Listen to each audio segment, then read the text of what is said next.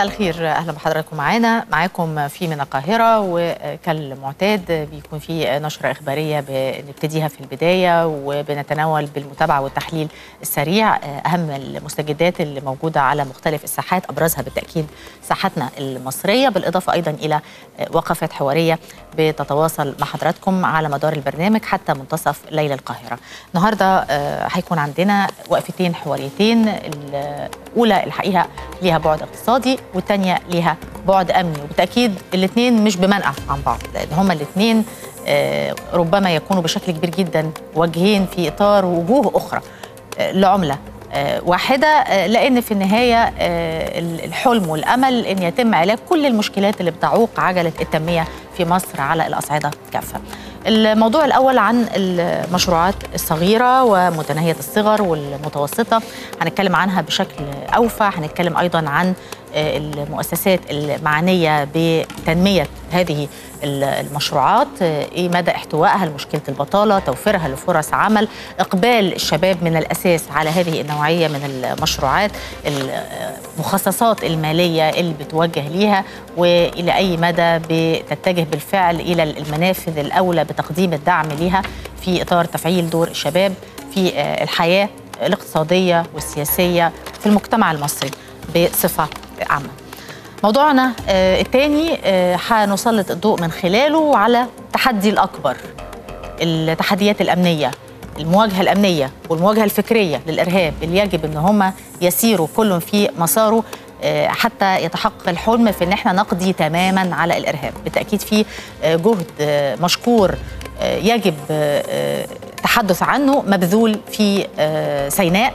بنشوف للأسف تبقى هذه الموجات الإرهابية تزهق أرواح لكنها بالتأكيد لا تنال من عزمنا كشعب كقوات كفيلة بإنفاذ القانون كقيادة مصرية راشدة بتسعى إن هي تحقق تطلعاتنا في مختلف المجالات. كلامنا الحقيقة على خلفية اجتماع مجلس الدفاع الوطني برئاسة الرئيس عبد الفتاح السيسي وبالتاكيد تم من خلاله الوقوف عند أهم المحاور وأهم الأولويات في هذه المرحلة ارتقاء إلى مواجهة هذه التحديات المتعاظمة خاصة الأمنية اللي بتواجه مصر في المرحلة الراهنة. قراءة تحليلية للمشهد الأمني وأيضا للمشهد الاقتصادي بالنظر إلى أيضا المشروعات الصغيرة والمتوسطة ومتناهية الصغر لأن هي بالتأكيد مهمة جدا في استيعاب كثير من المشكلات اللي بيعاني منها شبابنا واللي بيعاني منها محدودي الدخل في الوقت الراهن.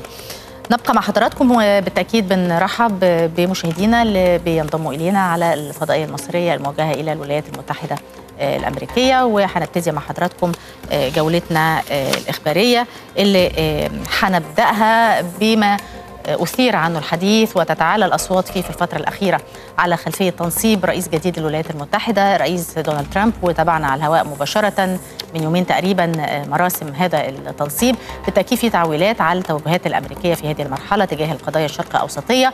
وبنخص بالذكر بالتأكيد الآفاق الأرحب اللي بيعول عليها اللي تكون عليها العلاقات المصرية. الأمريكية. الرئيس السيسي يعرب لترامب هاتفيا عن تطلع مصر لأن تشهد المرحلة الجديدة والمرحلة القادمة هذه العلاقات الوثيقة في مختلف المجالات بين القاهرة وواشنطن وأن يكون في دفعة جديدة لهذه العلاقات وأيضا للجهد المبذول في مجال مكافحة الإرهاب لأن بالتأكيد في توافق بشكل كبير جدا في وجهات النظر بين القيادتين المصرية والأمريكية. الرئيس عبد الفتاح السيسي دوما يحذر من هذه الهجمات الشرسة للإرهاب وأهمية إن يكون في مواجهة دولية لهذا الإرهاب اللي استشرى في الفترة الأخيرة ولا يوجد دولة على مستوى العالم بمنأى عن هذا الإرهاب. الآثم وبالتأكيد ده هيكون في صدر أي مباحثات مرتقبة بين الرئيسين عبد الفتاح السيسي ودونالد ترامب. فكرة مكافحة الإرهاب وفي إشادة من قبل الرئيس الأمريكي الجديد بالجهود المصرية المقدرة التي تبذل على هذا الصعيد. معنا للمزيد من المتابعة حول هذا الموضوع وحول هذا الأفق الأرحب الذي نشير إليه للعلاقات المصرية الأمريكية في القريب العاجل بإذن الله الأستاذ عماد الدين حسين رئيس تحرير جريدة الشروق أهلا بحضرتك أستاذ عماد. أهلا بيك يا فندم. أهلا بحضرتك. طبعا الحديث يطول عن إيه التوجهات المصرية والأمريكية إزاء العلاقات المستقبلية بين البلدين وايه اللي هتعمل هيعملوا كلا الطرفين حتى نصل إلى المنشود في حجم وأفق هذه العلاقات أهم النقط اللي يجب أن نتوقف عندها في هذه المرحلة مع تنصيب رئيس دونالد ترامب رئيسا للولايات المتحدة طبعا الأول الاتصال النهارده هو اتصال مهم زي يعني اوائل الرؤساء اللي اتصل بيهم الرئيس الأمريكي هو الرئيس السيسي ولا ننسى إن الرئيس السيسي كان أول من هنى ترامب بالصعود. المتوقع إن يبقى في تلاقي مصالح للدولتين في في ملف مكافحه الارهاب وده ملف مهم للغايه وأظن النهارده ده كان جزء من الاتصال الهاتفي وطبقا لما قرأته في بيان الذي أو البيان اللي صدر عن الرئاسة والمتحدث الرسمي السفير علاء يوسف فإن الرئيس الأمريكي قدر دور مصر وجهدها في مكافحة الارهاب. ده نمرة واحد في المستقبل القريب أنا أظن إنه يكون جزء أساسي في علاقات البلدين طبقا لما سمعناه وقرأناه.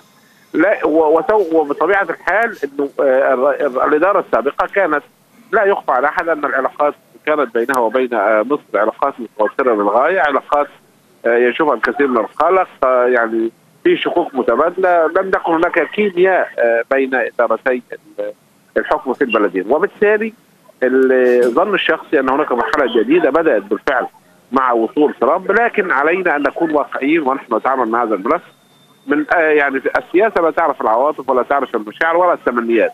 آه علينا أن نحسب الأمور حسابا جيدا. إذا كنا سوف آه هناك تلاقي في مسألة آه الإرهاب ومكافحة الإرهاب وده شيء مهم.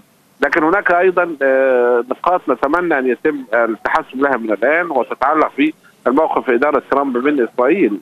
دعم مطلق مسألة نقل السفارة الأمريكية من تل أبيب إلى القدس بالتأكيد. بالضبط. نقل يعني هذا موضوع حساس ورأينا السفير الذي رشحته إدارة ترامب لكي يكون سفيرا لأمريكا في إسرائيل ديفيد فريدمان الرجل أخذ قرارا من نفسه قال أنني سأعيش في القدس ولا نعمل من تل أبيب. وهو يعني يزايد على يعني كانت لديه تصريحات يستهدف فيها من عدم ضم إسرائيل للكتل الاستيطانية في الضفة الغربية. فيعني هل لو ده خليني أسأل حضرتك سؤال يعني هل العلاقات المشتركة يعني توحد المواقف تجاه قضايا معينة لو لم يحدث بالقدر المطلوب هل ده بدوره يعوق التعاون الثنائي؟ يعني الحقيقة ده سؤال بيطرح نفسه في كتير من العلاقات مش بس لا العلاقات المصرية لا الأمريكية.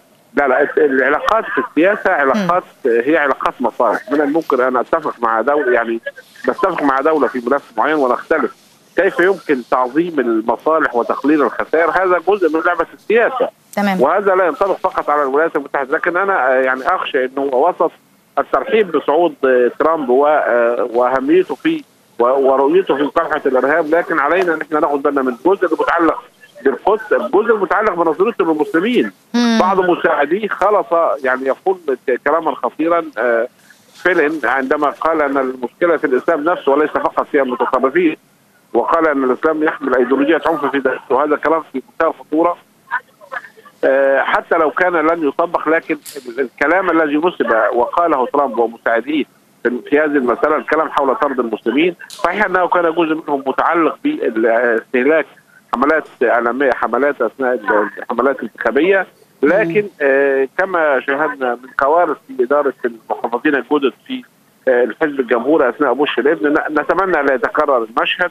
المشكلة الأكبر هي أن العرب في اضعف حالاتهم الان وبالتالي ستكون إسرائيل هي الأكثر استفادة من هذه الإدارة، مرة أخرى علينا أن نعمل بوضوح كيف يمكننا أن نستفيد أفضل قدر ممكن من ثلاث مثل مكافحة وتقليل الخسائر في ملفات أخرى خصوصا فيما يتعلق بمستقبل المنطقة والنظرة نظرة الصفقات التي ينظر بها ترامب إلى المنطقة حينما قال أنا يعني الحقيقة مؤسف جدا يعود التحالف الأمريكي الإسرائيلي من جديد بعد ما ابتدى يكون في بعض المؤشرات من خلال عدم استخدام الولايات المتحدة لأول مرة الفيتو آه. ضد الممارسات الاستيطانية الإسرائيلية. لا لا في جملة أخيرة بعد إذنك يا أستاذ عماد لضيق الوقت تفضل ماشي. النقطة الخطيره أوباما لم يكن ضد إسرائيل. أوباما في آخر أيامه فعل هذا وهذا الشيء حصل طبعا لكن للأسف الشديد لماذا لم يفعله قبل ذلك؟ سؤال صحيح. يعني يعني كان قال لنا كلاما ظريفا في جامعة القاهرة لكنه طوال ثمان سنوات لم يفعل شيء على أرض الواقع وبالتالي علينا أن نتحدث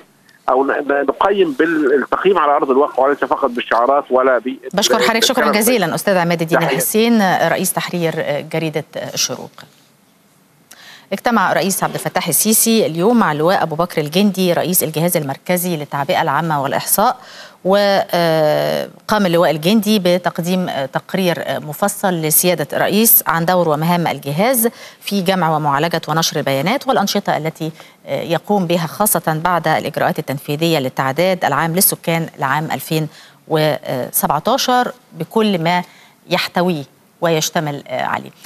معنا عبر الهاتف رئيس الجهاز المركزي للتعبئة العامة والإحصاء سعادة اللواء أبو بكر الجندي. مساء الخير يا فندم. أهلا مساء الخير بحضرتك والساده المشاهدين. أهلا بحضرتك. بالتأكيد يعني مهام مهمة جدا منوط بها الجهاز المركزي للتعبئة العامة والإحصاء لمواجهة حتى التحديات الحالية والمعطيات الموجودة. وده خلينا نتساءل عن الجهد المبذول حاليا لتطوير أداء هذا الجهاز.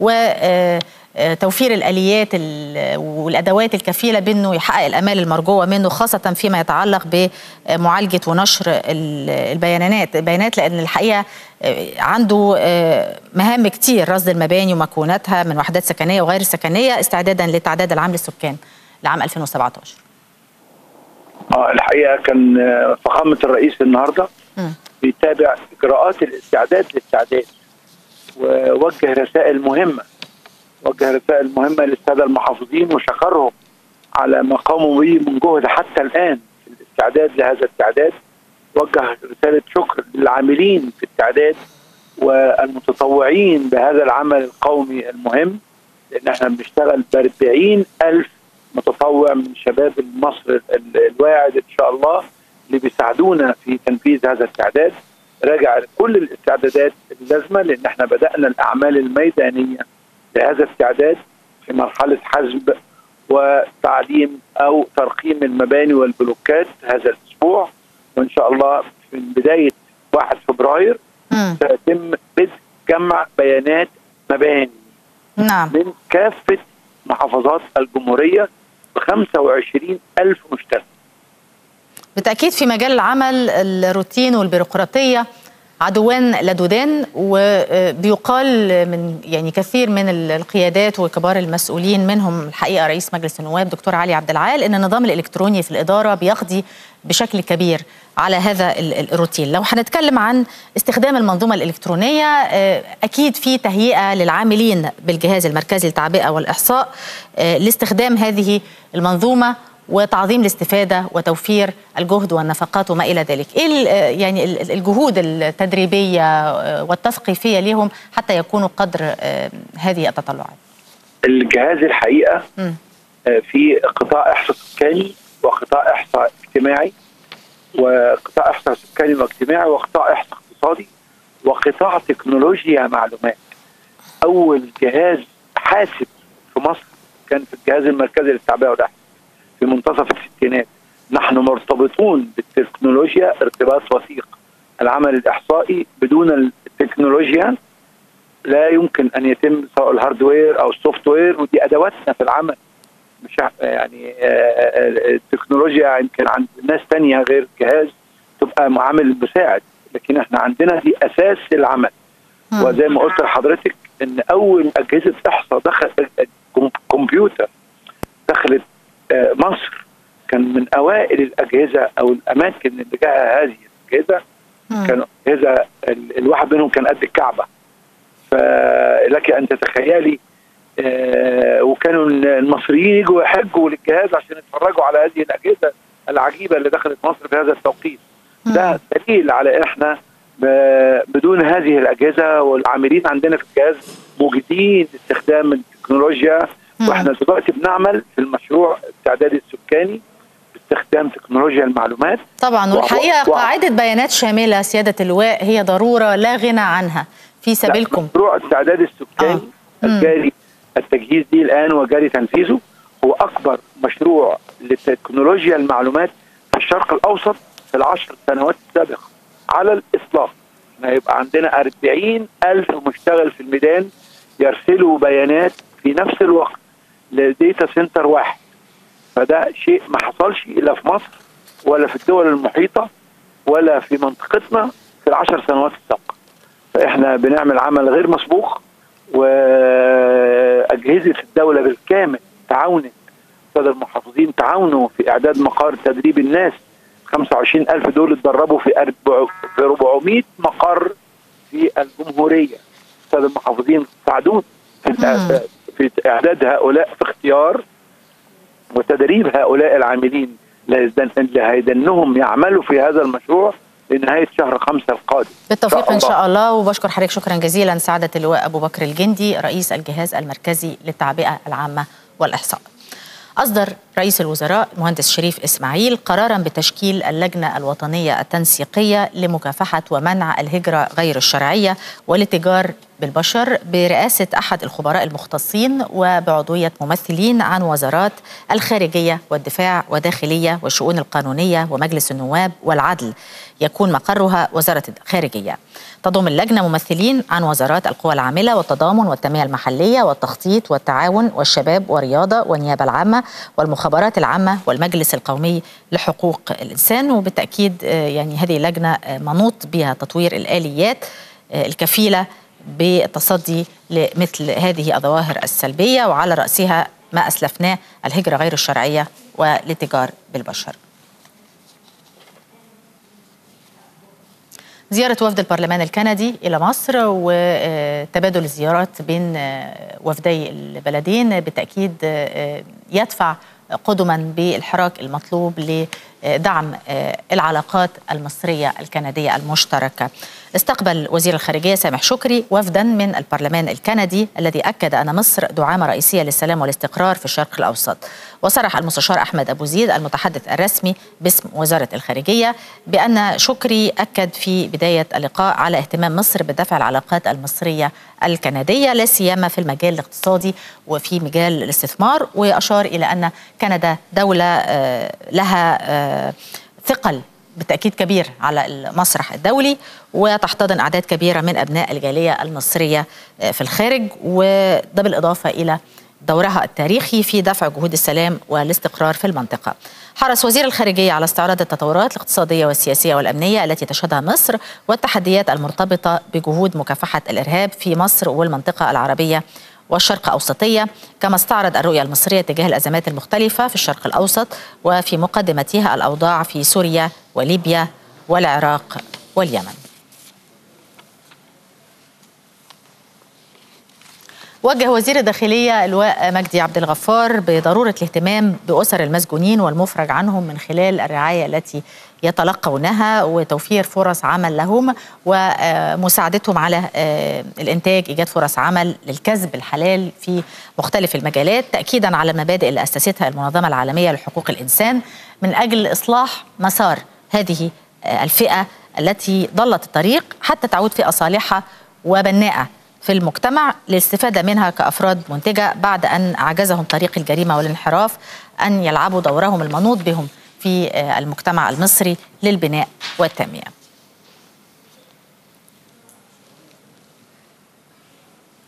نتوقف مع ما في جعبة لجنة المشروعات الصغيرة والمتوسطة ومتناهية الصغر بالبرلمان ومن خلال ما ناقشته من تقرير النصف السنوي لأداء الحكومة والآفاق التي تتطلع إليها والدور اللي بتقوم به أيضا المنظمات أو الكيانات العاملة من أجل تنمية هذه المشروعات اللي بالتأكيد يعني يرتقب ويعول أن هي توفر فرص عمل وتحتوي بشكل أو بآخر مشكلة البطالة الطاحنة اللي بنعاني منها في مصر.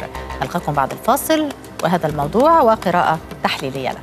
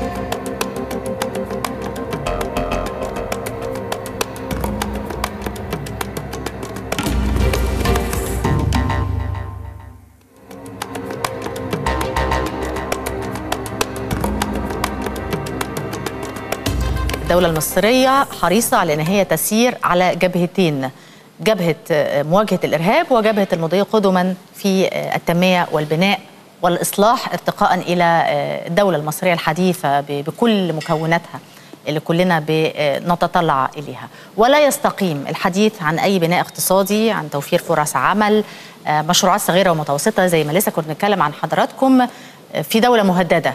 وبالتأكيد ما نشهده من حراك في المواجهة الأمنية في الفترة الأخيرة يستحق المتابعة يستحق التقدير يستحق أيضا ما يزهق من أرواح بريئة سواء لمدنيين أو لقواتنا المسلحة الباسلة أو لقوات الشرطة الباسلة. أيضا من أجل مواجهة هذا الإرهاب الغاشم الإرهاب ليس بال... مواجهته ليس بالحرب السهلة ولكن إن شاء الله النصر هيكون في النهاية لمصر. على هذا الإرهاب الغادر. في بالتأكيد نقاط أيضا نتوقف عندها في ما أفرزه اجتماع مجلس الدفاع الوطني اللي ترأسه الرئيس عبد الفتاح السيسي بحضور رئيسي مجلس النواب والوزراء وزراء الدفاع والإنتاج الحربي والخارجية والداخلية ورئيس المخابرات العامة وقادة الأفرع الرئيسية للقوات المسلحة ورئيس هيئة العمليات ومدير المخابرات الحربية وبالتأكيد تم خلال هذا الاجتماع استعراض مستجدات الموقف وأولويات التحرك في هذه المرحلة حتى نكون قدر هذه التحديات الأمنية المتعاظمة التي تواجه مصر في المرحلة الراهنة. قراءة للمشهد الأمني ما يجب أن يكون عليه التعاطي المصري مع الإرهاب في الفترة القادمة للواقع الحالي والمستقبل إن شاء الله قريبا جدا تكون مصر خالية بنسبة 100% من هذا الإرهاب. بوجه تحية لضيفي في هذا اللقاء سعادة اللواء دكتور أحمد عبد الحليم أستاذ العلوم الاستراتيجية بأكاديمية نصر. أهلا بحضرتك أهلا بيك يا فندم. طبعا يعني إحنا يمكن لما بنتكلم بنقول مشاعرنا. يبقى الموضوع شوية بعيد عن التخصص يعني أو بعيد عن التجربة الفعلية. لكن وعن الواقع اللي إحنا بنعيشه حاليا. وأنتم بالتأكيد أقرب إلى دراسة هذا الواقع وقراءته بشكل أفضل.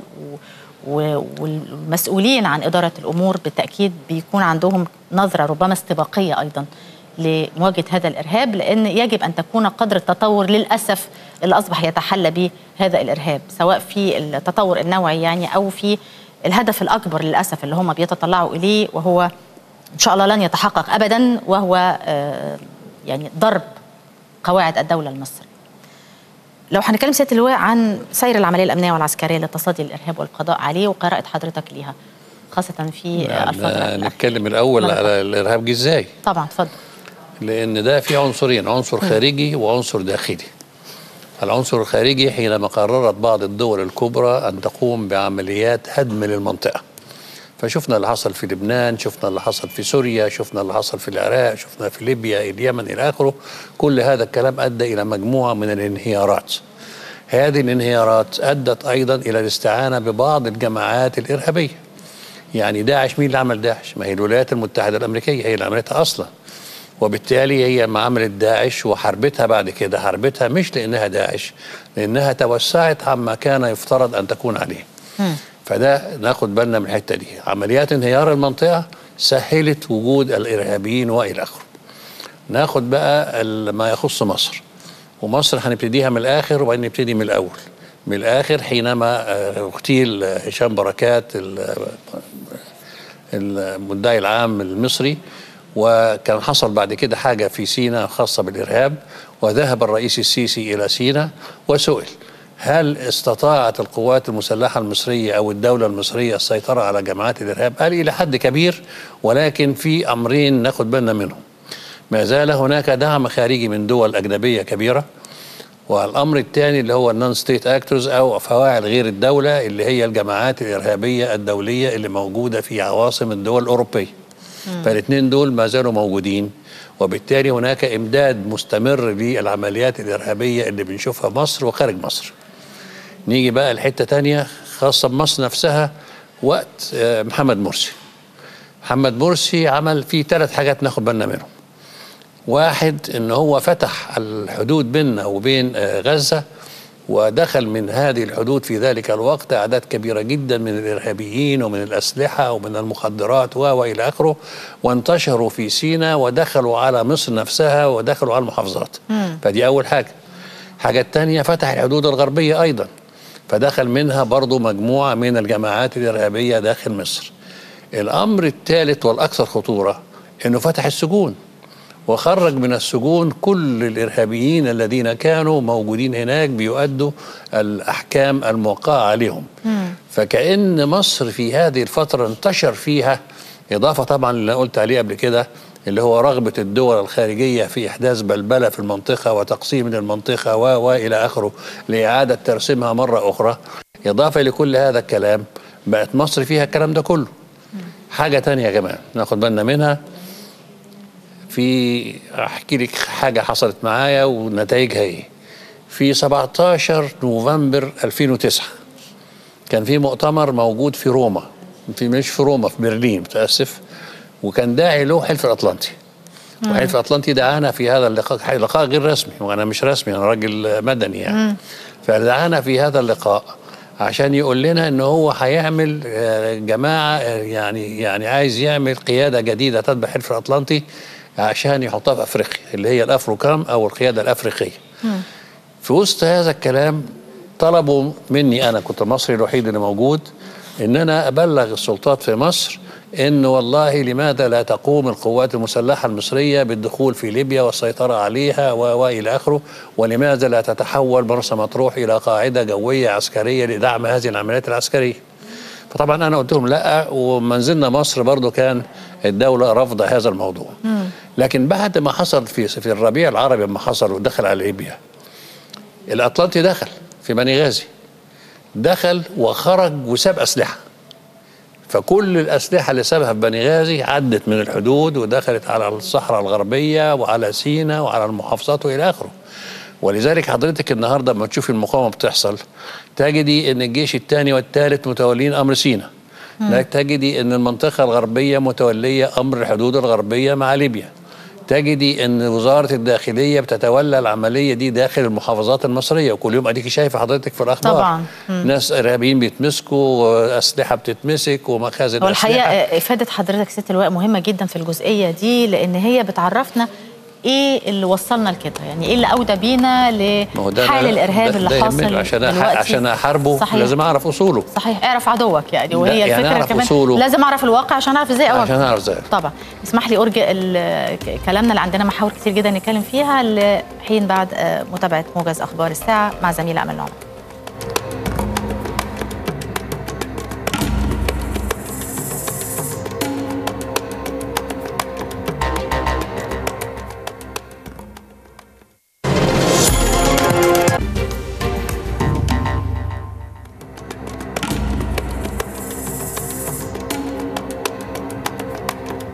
التطور النوعي في العمليات الإرهابية في الفترة الأخيرة أهمية أن ترقى المواجهة أيضا إلى هذا التطور. ربما تغير في بعض ال- الاستراتيجيات أو ال- الفكر الإرهابي آه، نفسه طريقة استهداف ال- الأهداف اللي بيضعوها نصب آه، أعينهم لإحداث قلاقل في مصر وكثير الحقيقة من المحاور وثيقة الصلة. من خلال حديثنا المتواصل مع سعادة اللواء دكتور أحمد عبد الحليم أستاذ العلوم الاستراتيجية بأكاديمية ناصر. دكتور أحمد آه، كنا لسه بنتكلم أثناء الفاصل الإخباري عن آه، آه، طبعا تجفيف منابع التمويل للإرهاب. دي جزئية مهمة جدا. جزئية أخرى مهمة فكرة إن ال- الإرهاب ابتدى التطور التقني نفسه أو ربما ساعات بنشوف عبوات تنفجر عن بعد. ابتدينا نشوف ربما عمليات انتحارية زي ما شفنا في حادث الكنيسة البطرسية. الاستهداف ليس فقط الآن لشخصيات مهمة مو- أكيد موجودة على آه، قائمة الأهداف. بنشوف كمان قوات إنفاذ القانون من خلال الأعمال اللي بتحصل في سيناء استهداف المدنيين بالإشارة إلى حادث الكنيسة. حضرتك بتشوف يعني إيه الوضع؟ يعني هل هم فعلا مدركين للي بيعملوه أم أنهم آه، في حالة يائسة بائسة في هذه المرحلة؟ تنتهي في القريب إن شاء الله بالقضاء عليهم هو لا جدال إن الإرهاب آه، طبيعته اتغيرت. وأدواته أيضا اتغيرت. وزي ما قلت لحضرتك إن هناك أطراف خارجية بتعمل على آه، إحداث هذه العملية. الطرف الخارجي بيقوم بثلاث حاجات رئيسية ناخد بالنا منهم. ودول السيطرة عليهم مش هتيجي إلا بالكلام اللي قاله ترامب النهارده للرئيس السيسي في الحوار اللي, اللي هم اتكلموا فيه لما اتكلموا عن الارهاب وكيف يصد واقامه حائط صد وإلى آخره من هذا الكلام. فالجماعات الدولية للإرهاب بتعمل ثلاث حاجات داخل الدولة أو داخل المنطقة اللي فيها العملية. مم. واحد بتنقي الخلية النائمة اللي هي موجودة هتنفذ العملية. وبعد 2011 آه تم تغ... 2001 تم تغيير في التركيب التنظيمي للجماعات الإرهابية. بقى التركيب بنسميه عنقودي. بمعنى أن يكون هناك مجموعة كبيرة من الخلايا ليس لها ثقة علاقة ببعضها ولكن اللي بيحركهم كلهم من الخارج هو الرئيس الذي يحرك هذا الكلام. فكأن الرئاسة الخارجية الدولية بتقوم بتحريك الخلية اللي هي عايزة تحركها بتمدها بالسلاح اللازم بتمدها بالمعدات والأدوات اللازمة عشان تنفذ هذه العملية. وبالتالي أصبح هناك ضرورة أن يكون هناك نوع من التفاهمات الدولية بين الدولة ودول أخرى حتى يمكن إقامة ما أطلق عليه أنا حائط صد للجماعات الإرهابية. طبعا الكلام ما فيش حاجة 100% هتحصل لكن. يعني يعني أقرب حاجة نعملها عشان هذا الموضوع المثل الواضح في هذه العملية قصة فرانسوا أولاند الرئيس الفرنسي لما قابل الرئيس السيسي في عزل الملك عبد الله الله يرحمه في السعودية والسيسي قال له إن هناك احتمال أن ينتقل الإرهاب من المنطقة إلى أوروبا والسيسي وأولان ما صدقش هذا الكلام راح باريس حصل عملية شارلي أبدو حصل عملية المطار داخل المطار الفرنسي والتدمير اللي حصل فيه العمليات الإرهابية اللي تمت في باريس وإلى آخره. فوقف أولان وقال كنت أعتقد أنه ليس هناك علاقة بين ما يحدث في الشرق الأوسط وأوروبا ولكن الآن أصبح هناك هذه العلاقة. هل أثرت الكلام ده كله في الموقف السياسي والموقف الأمني لفرنسا من مصر؟ أيوة لأن النهارده الحاملات الطائرات اللي اديتها فرنسا لمصر دي كانت أصلا رايحة لروسيا. واتخذت من روسيا بتفاهم طبعا معاها بين فرنسا وروسيا وأعطيت لمصر علشان تؤمن المنطقة بتاعه شرق البحر المتوسط وقناه السويس والبحر الأحمر وإلى آخره. فده عملية من العمليات. هناك مجموعة أخرى من الدول اللي فيها الجماعات الدولية للإرهاب ما زال فيها هذه الجماعات. طيب في سؤال لسيادتك. الإرهاب لما بينتقل إلى أوروبا زي ما حضرتك تفضلت أو لما بينتقل من سيناء إلى مواقع أخرى في مصر.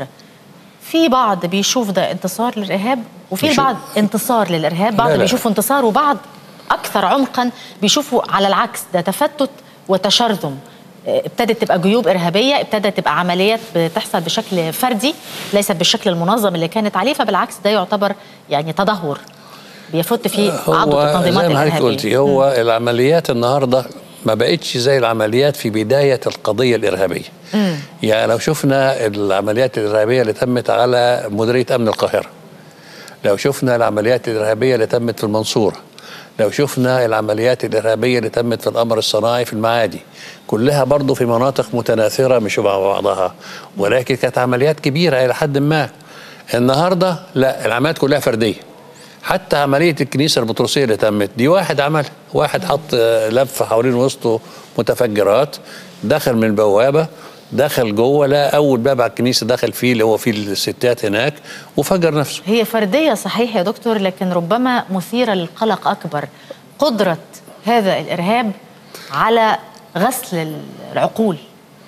لا على تفريغها من مضمونها على إيهامها. آه.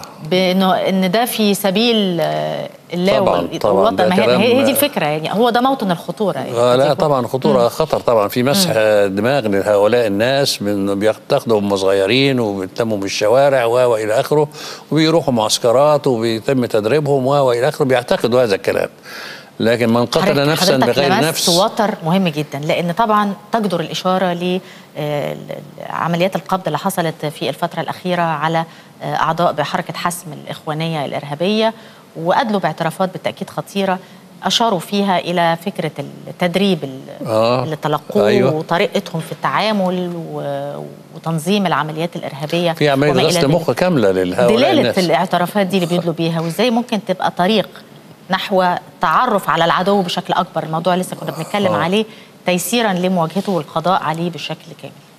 أنا عايز اوصل لنقطة عشان حضرتك والإعلاميين بالكامل لهم دور كبير فيها. اتفضل. لأن أنا بعتبر أن الأمن رغم أن هناك وزارة الداخلية والقوات المسلحة وما أعرفش إيه وإلى آخره لكن أنا بعتبره أنه الوظيفة الأولى للمواطن المصري. بمعنى إن إذا المواطن المصري شاف حاجة غريبة حاصلة شاف ناس خدوا شقة وأجروها وبينقلوا فيها حاجات غريبة. شافوا حاجات بهذا الكلام لازم يبلغوا. طبعا. لأن مش ممكن الدولة تستطيع أن تراقب 100% 90 مليون واحد اللي موجودين جواها. فمن هنا وظيفة المواطن المصري ودي اللي ينبه المواطن المصري لهذه الوظيفة الهامه هو الإعلام طبعاً. الاعلام بتاعنا. يا جماعة خلي بالكم إن في الارهاب اشتباه في أشخاص اشتباه في دل- ناسفه مزروعة. يعني يكون في قدر من. الوعي. آه طبعا طبعا. طبعا. مم. فلازم يكون هذا الوعي منتشر بين المواطنين وإنهم يبلغوا مباشرة. هذا الكلام الحقيقي إلى حد كبير موجود في سينا دلوقتي ولذلك حينما سئل الرئيس السيسي آه، يعني في سينا اخبارها إيه قال حوالي حاجة و90% انتهى لنا من الإرهاب ولكن ما تبقى صعوبته ان هو زي ما قال زي ما قال زي ما قلت لحضرتك ان هناك أطراف من الخارج بتؤيد هذه العملية وهناك أيضا الجماعات الدولية الموجودة في أوروبا وموجودة خارج مصر التي تدعم هذه العمليات. فكل هذا الكلام بيؤدي لاحظ إن ال- الإرهاب عندنا هنا بقاله ثلاث سنين ونص ثلاث سنين ونص شغال تمام. طبعا. فطبعا ولكن هل أما ابتدى من ثلاث سنين ونص زي دلوقتي؟ لا الحاجة الثانية هل النهاردة نتيجة لأن هو تحول إلى العمليات الفردية التي يصعب مراقبتها بشكل كامل غير ما يكون في منظومة وشبكة وإلى آخره تستطيع الدولة والأمن أن هو يراقبها ويتابعها وإلى آخره لكن لما يكون فرد واحد جاي من منطقة خارجية ويخش يعمل عملية دي عملية بتعتمد على المواطن المصري وبصيرة المواطن المصري ولازم يبلغ عن هذا طبعا. الكلام خصوصا في الوقت ده وطبعا في إجراءات تأمينية مشددة آه، في في الأيام دي خاصة للأماكن والمنشآت والمؤسسات الحيوية.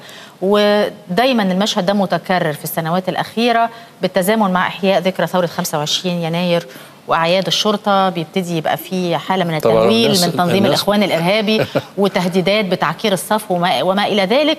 والأمور الحمد لله بتعدي على خير كل سنة. فده يخلينا نتكلم عن الجهد المبذول من قوات الأمن دي جزئية وجزئية تانية بعد أن انكشفت الأقنعة والمصداقية ضربت في مقتل لهذه التنظيمات الإرهابية آه، بقيادات الإخوان بالتأكيد يعني. آه، ما بيزهقوش؟ لا ما بيزهقوش. ان دي آه، شغلتهم.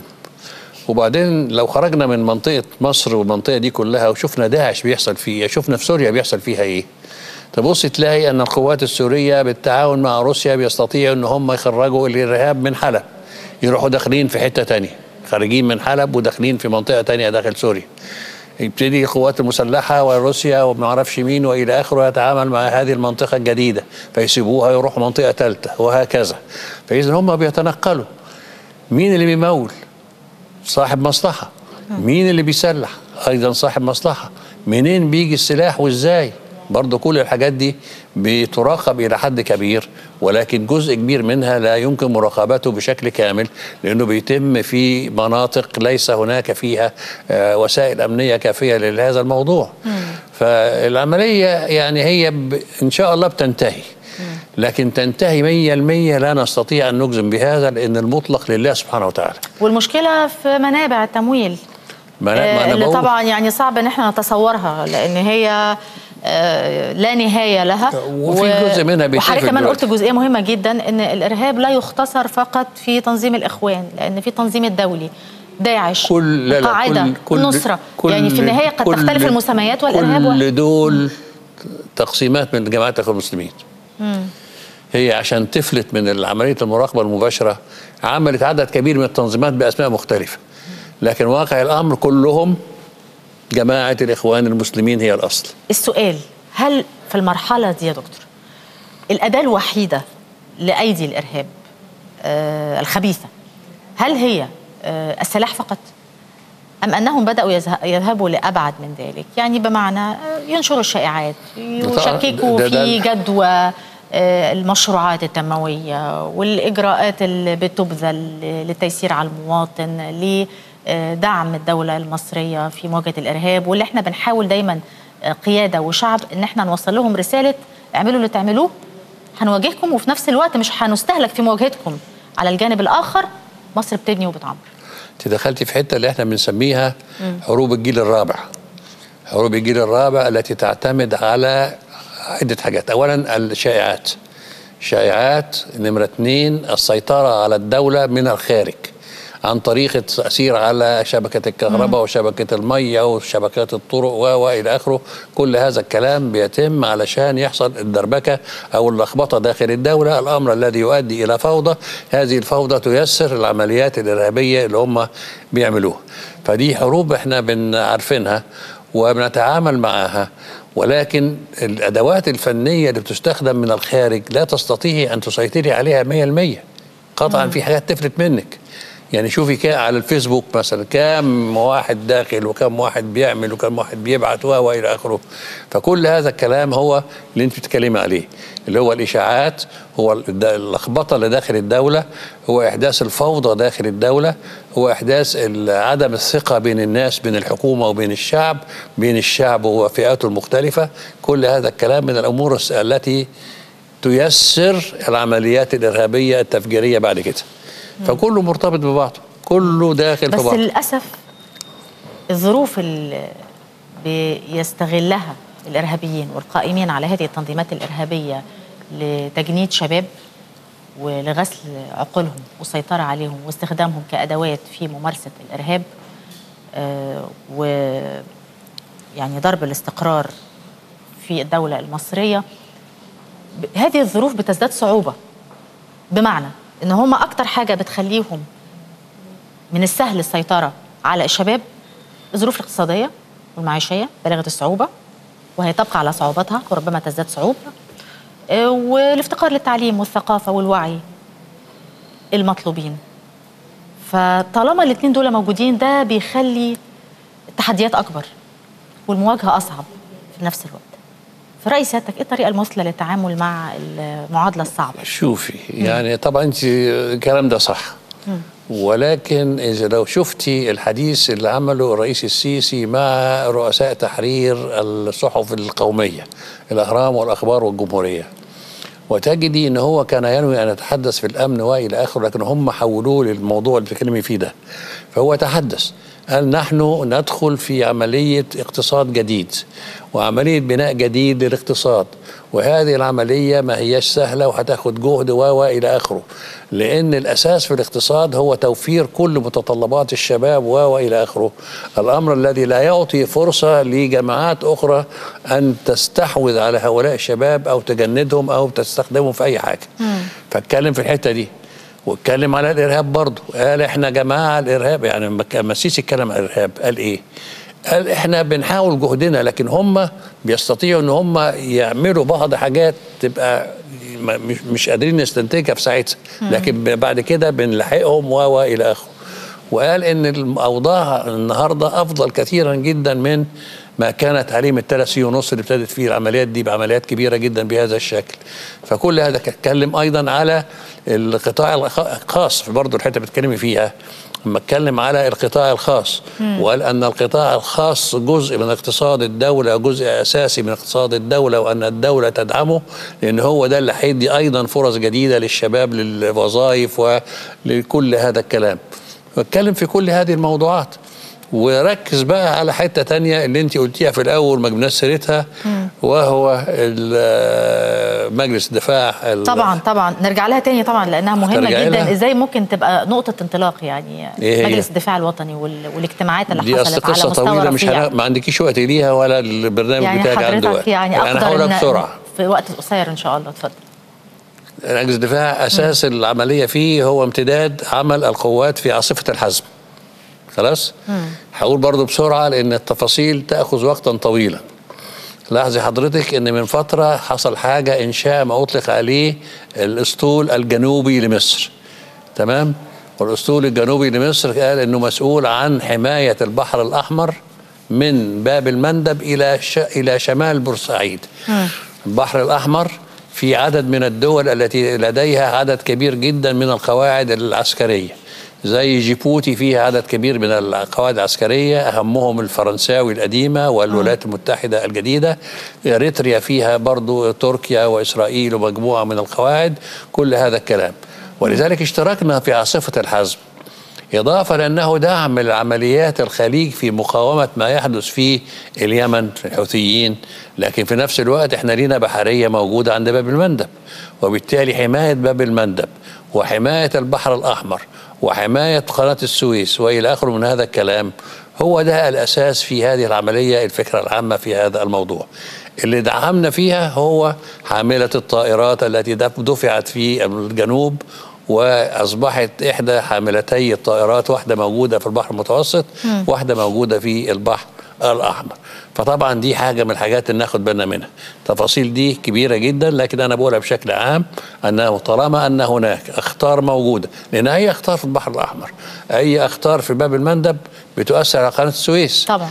يبقى أنا عملت ازدواج لقناة السويس وعملت مناطق صناعية وعملت شرق بورسعيد وعملت الكلام ده كله وبعدين أسيبه تحت رحمة إن حد يقفل لي باب المندب ويوقف لي قناة السويس مم. وبالتالي ده يؤثر على التطور الاقتصادي بشكل عام اللي إحنا اتكلمنا عليه.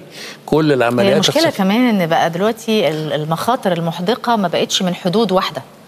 يعني حدود جنوبية وحدود غربية وحدود شرقية. طبيعي يعني طبيعي طبيعي لأن اللخبطة حاصلة في هذه المنطقة وكل جبهة من دول يعني إحنا عندنا ثلاث اتجاهات استراتيجية أساسية. اتجاه استراتيجي شمالي شرقي اللي هو ناحية سيناء وإسرائيل الاتجاه الاستراتيجي الغربي اللي هو ناحية ليبيا الاتجاه الاستراتيجي الجنوبي اللي هو ناحية أفريقيا فدول الثلاث اتجاهات استراتيجية الرئيسية التي تعمل القوات المسلحة المصرية على حمايتهم وحماية مش بس داخل الحدود وخارج الحدود في مناطق أخرى كثيره. والحقيقة الجميل واللافت إن لما بتتعاظم المخاطر والتحديات وتتكاثر أيضا التضحيات بالأرواح بالعكس ده بيزيد الإرادة المجابهة وفي القضاء على هذا العدو صحيح. الإرهاب. صحيح. خصوصا إن هو عدو من الداخل وعدو من الخارج في نفس الوقت وده بيكسب الموضوع خصوصية كبيرة جدا. أنا بشكر حضرتك شكرا جزيلا. سعادة اللواء دكتور أحمد عبد الحليم أستاذ العلوم الاستراتيجية بأكاديمية مصر. شرفتنا يا الله يخليك كتر خيرك مستمرين مع حضراتكم عنوان حوارنا اللي جاي المشروعات الصغيرة ومتناهية الصغر والمتوسطة. وكثير من التطلعات وربما أيضا التحديات والتطلع لأن تكون المؤسسات العاملة لتحقيق التنمية في هذا المجال قدر هذا التحدي وتقوم بعملها المنوط بها على أرض الواقع. كونوا معنا.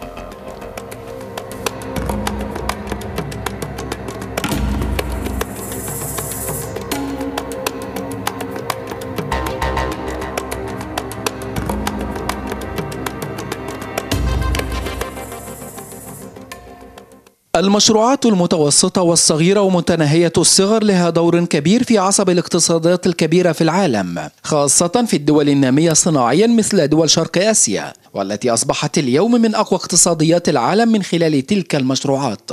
ومن جانبه يناقش مجلس النواب مبادرة الرئيس السيسي في دعم المشروعات الصغيرة وأوضح رئيس مجلس النواب أن مشروع قانون منح التراخيص الصناعية بالإخطار سيناقشه البرلمان خلال الفترة المقبلة. لأن القانون ييسر إجراءات منح تراخيص المنشآت الصناعية خاصة المشروعات الصغيرة والمتوسطة. ويسهم مشروع القانون في تسهيل الإجراءات وجذب الاستثمارات المحلية والأجنبية وكذلك في تنمية معدلات الإنتاج الصناعي بما سيتيح من فرص لإقامة مشروعات جديدة.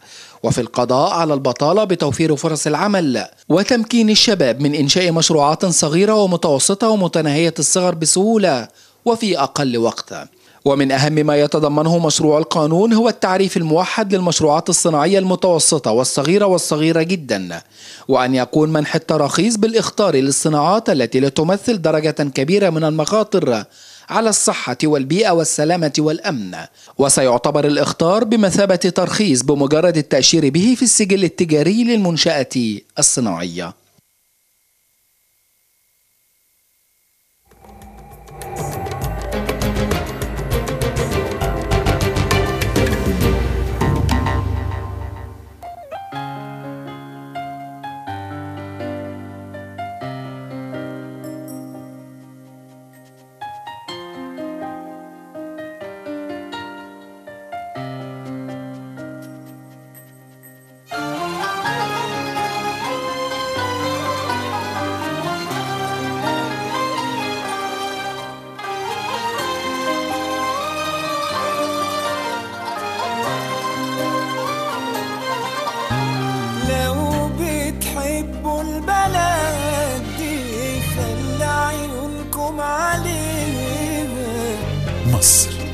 خلي عيونكم عليها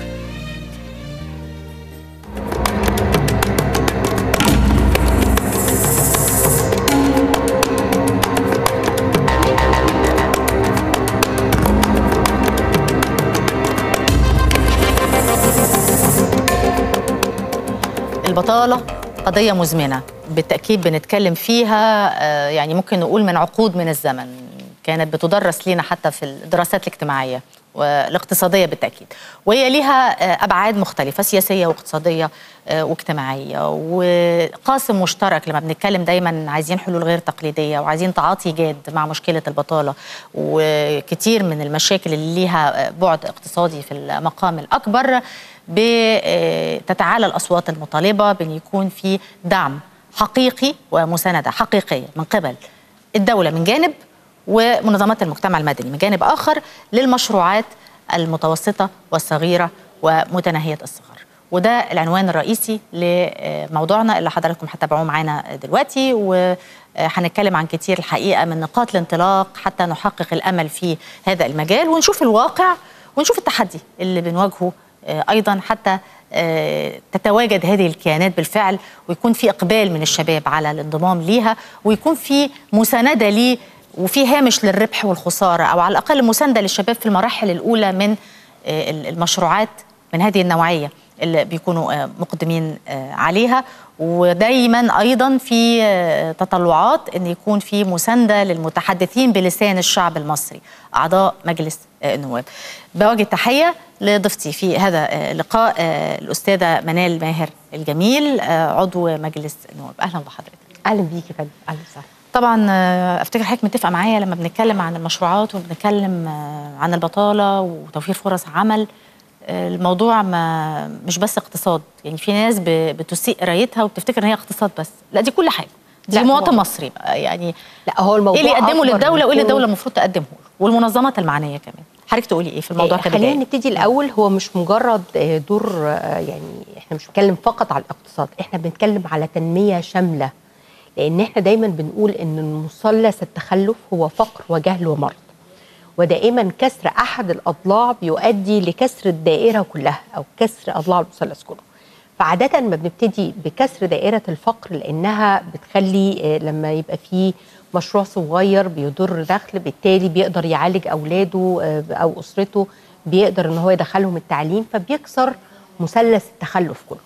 وبالتالي عادة بيكون أكثر الأضلاع آه، آه، ال- اللي بيعمل تنمية شاملة وسريعة هو آه، زيادة الدخل. تعالي نحلل المجتمع المصري. المجتمع المصري إحنا ما عندناش غير ثلاث مصادر. يا إما هنشتغل لدى القطاع الحكومي وهذه الفرص بقت محدودة للغاية وما بقتش متاحة. يا إما هشتغل لدى الغير يا إما هشتغل أعمل مشروع صغير لنفسي. يعني هذه هي الثلاث فرص المتاحة في المجتمع أو هشتغل في المجتمع المدني. لا يوجد فرص أخرى. وبالتالي آه، كان المشروعات الصغيرة هي أفضل الفرص المتاحة للشباب لبدء حياة كريمة. ويمكن لأن عام 2016 كان عام الشباب فحرص سيادة الرئيس إن هو آه، والحكومة بصفة عامة إنها توفر كثير من رؤوس الأموال المتاحة للإقراض لبدء المشروعات الصغيرة اللي تقدر تدر دخل على الشباب وتبقى آه، يعني بداية آه، كويسة للشباب تعويضا لعدم وجود فرص عمل في الحكومة مم. وبوائد آه، لأول مرة بنلاقي مشروعات صغيرة بفائدة 5% فقط لا غير. ودي فائدة غير مسبوقة في المشروعات الصغيرة.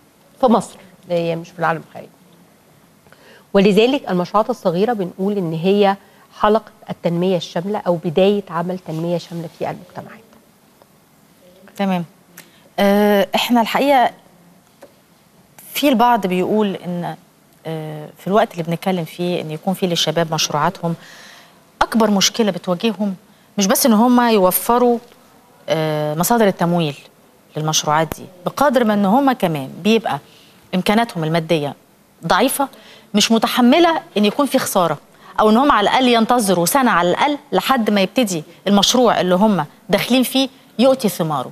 وده يتطلب إن يبقى في آه، تشجيع ليهم وتحفيز ليهم إن يحسوا إن الدولة أو في جهة معينة مساندة ليهم على الأقل في بدايات المشروع. إيه اللي في نوايا آه الأعضاء بمجلس النواب إن هم ينصروا الشباب في الجزئية دي وده هيبقى كمان عامل تشجيعي ليهم إن هم ما يحجموش بشكل أو بآخر إن هم يلتحقوا بمشروعات من النوعية دي لو كانت بالفعل متوفره يعني أنا أعتقد إن الفترة الحالية بيناقش مشروع آه، الاستثمار مشروع الاستثمار به الكثير من الحوافز الاستثمارية اللي موجودة في هذا المشروعات طبقا للأماكن أو لنوعيات المشروعات. وده أعتقد إنه ممكن هيكون العائد بتاعه كبير على الشباب. ولكن إحنا ما زلنا الحقيقة بنحتاج إن إحنا ندرس زي ما حضرتك قلتي بالظبط أول سنتين بيبقوا ضغط كبير جدا على الشباب.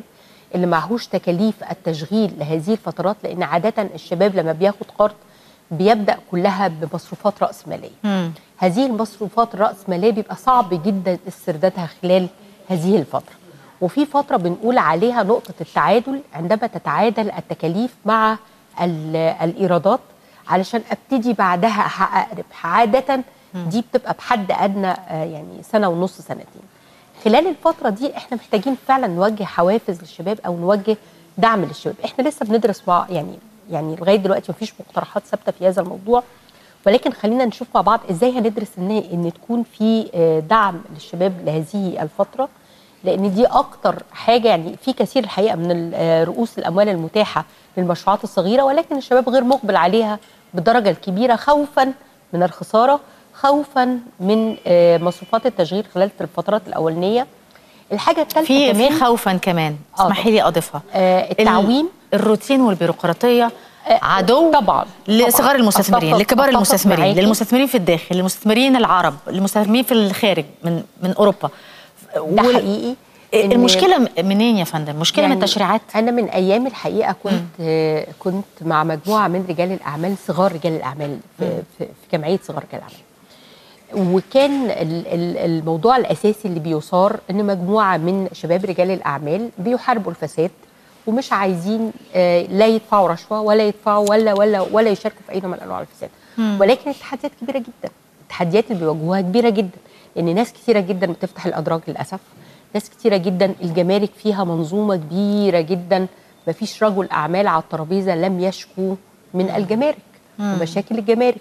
وحضرتك عارفة تماما إن كثير من آه، مدخلات المشروعات آه، لازم بتيجي يعني أغلبها بتيجي استيراد الحاجة الثالثه آه، غير التراخيص طبعا وغير لفة التراخيص إحنا لغاية دلوقتي ما فعلناش الشباك الواحد يعني يا رب نعرف و- و- نفعله اللي الاستثمار جاية. الموحد يعني على قد ما فرحنا بيه جدا بس حتى اللحظة دي هو لسه ما حاليا حاليا. بيناقش يعني هو حاليا دلوقتي بيناقش في اللجنه الاقتصاديه وعلى وشك دخوله للقاعه إن شاء الله في القريب فبالتالي يعني ده في خطوة اتعملت فيه. ولكن قانون الاستثمار لوحده مش كفاية. بس خليني أكمل لحضرتك الأول التخوفات الأخرى. اتفضلي. فيبقى التخوفات من الخسارة تخوفات من تغطية المصروفات لأول سنتين بعد ما يضخ أمواله في ال ال الأصول الرأسمالية. التخوف من آه، الرسوم البيروقراطية ورسوم الفساد عايزين نقول عليها كده. الحاجة الرابعة كمان التخوف من آه، تعويم الجنيه دلوقتي أصبح مشكلة كبيرة جدا. لأني أصبح هو مش قادر يحدد آه، تكلفة ولا ربح. التكلفة بالنسبة له آه، سعر الدولار متغير كل يوم وبالتالي سعر مدخلات الإنتاج متغيرة كل يوم وبالتالي صعب جدا إن أنا أسعر المنتج بتاعي اللي يضمن ليا حد من المكسب أو الخسارة. فده أعتقد إنه تحدي. خامس حاجة تحدي توفر المعلومات الخاصة بالسوق طبعاً. لاني أنا عشان أعمل دراسة جدوى جيدة فأنا محتاجة إن أنا أحصل على معلومات كافية تؤهلني لدراسة جدوى جيدة مم. فده برضو تخوف يعني أعتقد خلال الفترة القادمة في بعض آه، آه، هذه الموضوعات هيغطى بالتشريعات ولكن الأكثر منها يغطى يمكن إحنا النهارده كان عندنا سيادة الوزير أشرف العربي وكنا بنناقش آه، آه، آلية تفعيل ال- مكافحة الفساد. الفساد وأنا الاداري طبعا. أعتقد مم. آه طبعا. وأنا أعتقد إن دي لحد كبير آه، يعني آه، عوائدها على الاستثمار مش بس على الدولة. يعني مم. تشجيع الاستثمار جزء كبير منه خاص في مكافحة الفساد. آه، عائق كبير من دخول الكثير كتير من الانترناشونال آه، الاستثمار العالمي أو الشركات المتعددة الجنسيات بيكون الفساد من ضمن هو كمان ما الهواجس يا اسمه النائبة. تسهيلات ولا تشهيلات طبعا ولا ومن ضمن الهواجس الحقيقة. كمان آه آه. الجدلية الخاصة بالاقتصاد الرسمي والاقتصاد الموازي وفي أي إطار تقرأ المشروعات الصغيرة والمتوسطة ومتناهية الصغر يعني هو آه، أنا عايزة أقول إن إحنا عندنا فجوة في مصر للأسف في المشروعات المتوسطة مم. يعني إحنا هنلاقي إن أغلب التمويلات موجهة للتمويل المتناهي الصغر والتمويل الصغير. ولكن التمويل المتوسط للأسف عندنا مشكلة فيه في مصر. لأن يعني آه، بيجي عند حد معين ما يعرفش يتوسع في هذه المشروعات بقروض كبيرة. القروض المتاحة للتمويلات المتوسطة محدودة جدا. طب إيه المشكلة دي تتحل إزاي من وجهة نظرك؟ آه، دي إحنا دايما مركزين على المتناهي الصغر والصغر ولكن تركيزنا على المتناهي الصغر والصغير بيكبر أكتر القطاع الغير رسمي. مم. عشان أقدر أعمل حوافز لهذا القطاع ليتحول إلى قطاع رسمي فأنا محتاجة كثير كثير من الحوافز ال- ال- ال- ل- ل- لتحويل هذا الاقتصاد من اقتصاد غير رسمي لاقتصاد رسمي لكن لما أقول له إن أنا هفرض عليك ضرائب وكذا وكذا ده أنا بالعكس ده أنا هي طب ما إعفاء يبقى دي ده, ده. حاجة بقى مهمة جدا تسعوا ليها الفترة اللي جاية في المجلس إن يكون في تقنين للمشروعات دي علشان تنضم للاقتصاد الرسمي يعني هي دي محتاجة يا فندم كثير من الإجراءات المحفزة للسوق لكن مم. لما أقول له أنت أول ما هتدخل اقتصاد رسمي آه، هتخضع لرسوم كذا وهتخضع لضرائب كذا وهتخضع لضرائب كذا أنا وجود هذا القطاع العريض إحنا عندنا أكثر من 70% من القطاع المشروعات الصغيرة وال- مم. وال- والمتناهيات الصغر موجودة في مصر موجود في الاقتصاد الغير رسمي إزاي أقدر أحول هذا الاقتصاد الغير رسمي لاقتصاد رسمي دي محتاج مجموعة متسقة من الحوافز الاستثمارية لهذه المشروعات الغير رسمية عشان أقدر أحولها لاقتصاد رسمي. ومحتاج إجراءات أخرى أقدر إن أنا أتبعها. يعني مثلا آه آه، التعامل بال- بالكروت البنكية بدل من أو الحسابات البنكية بدلا من الكاش. يعني أنا أعتقد إن الدولة بتصرف الكثير والكثير في طباعة البنك نوت آه، بصفة مستمرة. يعني أنا كل ما بسحب دلوقتي ورق بنك نوت من أي مكنة ATM بلاقي الورق بلاحظ هي إن الورق جديد محتاجه بقى يعني. قاعدة بيانات آه، شاملة محتاجة ان يكون في ما ده تشجيع بقى إن. أنا يبقى عندي مثلا إن أنا أبتدي أحد من تعامل الكاش في التعامل في بعض السلع للتعامل بنك نوتي هتلاقي إن كثير منهم بيتحول لقطاع إحنا المشكلة كمان لسه لحد اللحظه دي رغم إن طبعا في طفرة حصلت في التعامل الإلكتروني لما بتيجي الأمور لتعاملات مالية لسه في أزمة ثقة في يعني التعامل أنا مش الإلكتروني شايفة الحقيقة أزمة الثقة ولكن تاني على قدر ما هعطي محفزات استثمارية ويتحول هذا آه، من قطاع غير رسمي لقطاع رسمي على قد ما أنا هقدر آه، إن أنا أكسب آه، مكاسب جديدة للدولة يعني. أنا رأيي 70% بدل ما آخد 10% ضريبة سنوية أنا لو خدت 1% على 70% أنا أنا كسبان. يعني أنا بالنسبة لي أعمل لهم تخفيض ضريبي أو إعفاء ضريبي لفترة من الزمن إلى أن يقدر إن هو يقف على رجليه واديله مزايا انه كل ما هتوظف ناس أكتر كل ما هت آه، هتتحول لاقتصاد رسمي هتاخد مزايا أكتر من الدولة باعفاءات على الاستيراد بتشجيع للصادرات. يعني هعمل له مجموعة حوافز استثمارية. هل الأجهزة أقدر المعنية بتنمية المشروعات الصغيرة والمتوسطة بتقوم بعملها؟ ولا حضرتك ممكن تكوني آه، يعني أو البعض بيشوفها إن هي آه، آه، يعني نمطية أو روتينية بشكل أكبر ما بتقدمش الخدمات اللي المفروض تقدمها. فعلاً- من ال- الكيانات دي إن إحنا عايزين نغيرها ولا إحنا عايزينها تكون موجودة بس تتعامل بإطار منظومي يعني ما تبقاش كل جهة ب- بتشتغل على حدة. يبقى في تواصل وتنسيق بينها وبين بعضها. قلب المشكلة الحقيقة مم. يعني إحنا بنقول إن إحنا بننادي يعني كان طلع من في فترة سابقة إن سيقوم آه، آه، إن في حاجة اسمها جهاز تنمية المشروعات الصغيرة سيقوم بانشائه الحكومة الفترة القادمة. ويمكن شوية اختلط علينا الفهم ده هيكون بديل للصندوق ولا هيبقى فوق الصندوق ولا هيبقى تحت الصندوق ولا هيبقى إيه بالظبط. يعني لغاية دلوقتي ملامح هذا المشروع غير واضحة يعني ولم يتم تناولها.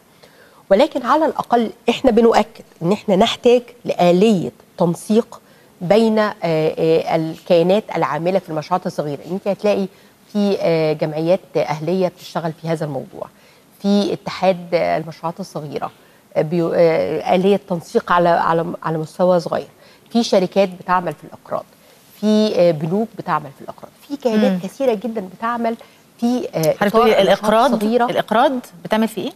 ما. سمعتش الكلمة حضرتك بتقولي في شركات بتعمل في إيه؟ آه في شركات بتشتغل بس على إقراض المشروعات آه، الصغيره تمام. زي مم. ريفي وزي وزي مم. فبالتالي في أكتر من شكل بيعمل على هذه المشروعات وفي مبادرات حضرتك كنت لسه بتتكلمي الحقيقة عن ال- التراخيص وزارة التجارة والصناعة أطلقت مبادرة مصنعك جاهز بتراخيصه.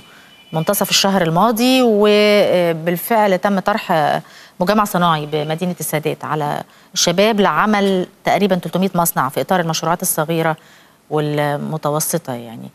نظرة حضرتك إيه المبادرة دي؟ لأن البعض بيشوفها في هايلة. آراء مختلفة، في حد بيشوف إن دي بالعكس دي فكر غير تقليدي وبما بنتكلم على الصناديق يعني ده تفكير خارج الصندوق اللي المفروض يكون، وفي ناس تانية بتشوف لأ إن هي برضه فشلت في الوصول إلى صغار المستثمرين وبالتالي يعني ليست يعني لا يعول عليها بال بالشكل المطلوب. يعني إحنا خلينا ناخد الجانب المضيء من المبادرة، الجانب المضيء من المبادرة هو بيقطع عليا شوط كبير جدا في جانب التراخيص وجانب التعرض لأن أنا ألف على عدد الهيئات المهول اللي الف عليها عشان أخلص الترخيص فإنه يديني مكان بترخيصه ده شيء رائع. آه خليني أرجع برضو لحضرتك بس عشان نستكمل النقطة اتفضلي. السابقة لأنها مم. نقطة مهمة جدا إحنا محتاجين آلية تنسيق هذه الآلية بتنسق إني أبقى ضامنة إن في تغطية للمشروعات متناهية الصغر المشروعات الصغيره والمشروعات المتوسطه من حيث حجم القروض آه بتنسق جغرافيا ما بين الأماكن المتعددة إن يتم تغطية أماكن الجمهورية كلها يوجد فيها آلية لوصول الشباب إلى الأقراض المناسب ليهم. آه، في آلية إن ال- السيدة آه، إن إن آه، في تمكين للسيدة من الحصول على هذه القروض مثلها مثل الرجل لأن كثير من القروض بيحتاج لضمانات بتبقى غير متوفرة عند السيدة إنها تقدمها وإنها تتمتع بهذه القروض.